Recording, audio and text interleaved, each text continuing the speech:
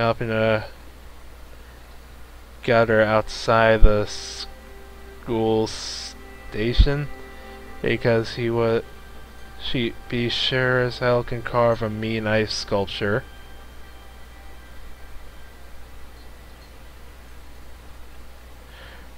Those shapes he makes in the ice though, they give me the creeps. Steve come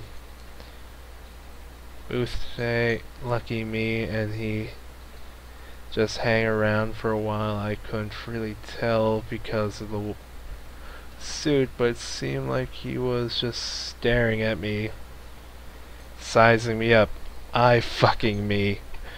Whatever he was doing, I asked him what he wanted, and he just stood there.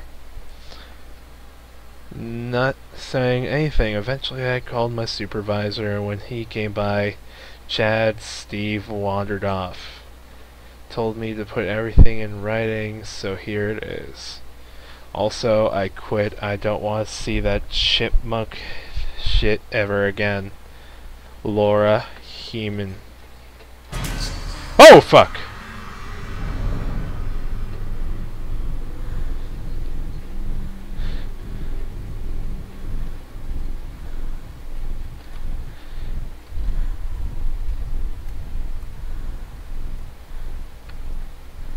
Come out, sweetie. The fuck is that? Hey, for kids.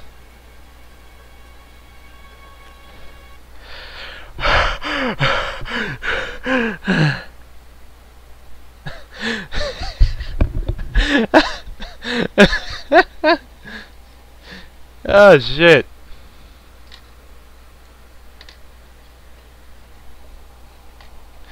Oh shit.